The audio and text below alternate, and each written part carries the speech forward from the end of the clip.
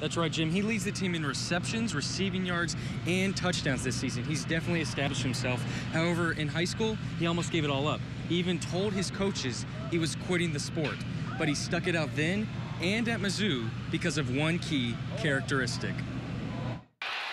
This Bud's for you. Patience.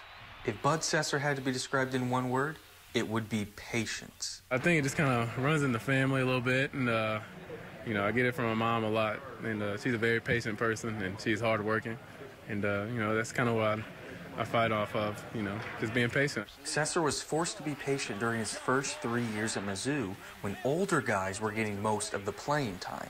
I was able just to mentally take reps from a lot of the players, like learn from uh, what they did well and what they didn't do too well, and uh, see how guys were treated if they were being coachable and the guys who weren't being coachable.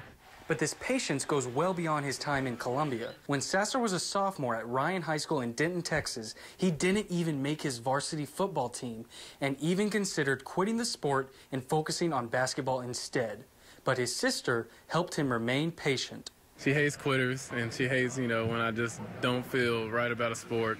And, uh, you know, she was a little upset when I stopped playing baseball, too. But so at that time, she was just like, you know, you just need to play both. Now, Sasser is third in the SEC in receptions and also made first team All SEC. And he says he's never going to change his patient, hardworking attitude. Played with a chip on my shoulder, just knowing that people didn't think that I could do it. And, uh, you know, that just just goes to show, you know, they just it's, it's, that's what a fan does. You know, they don't they don't really know. They don't see you at practice, so you know, just go out there and play your best, play your hardest, and don't worry about too much.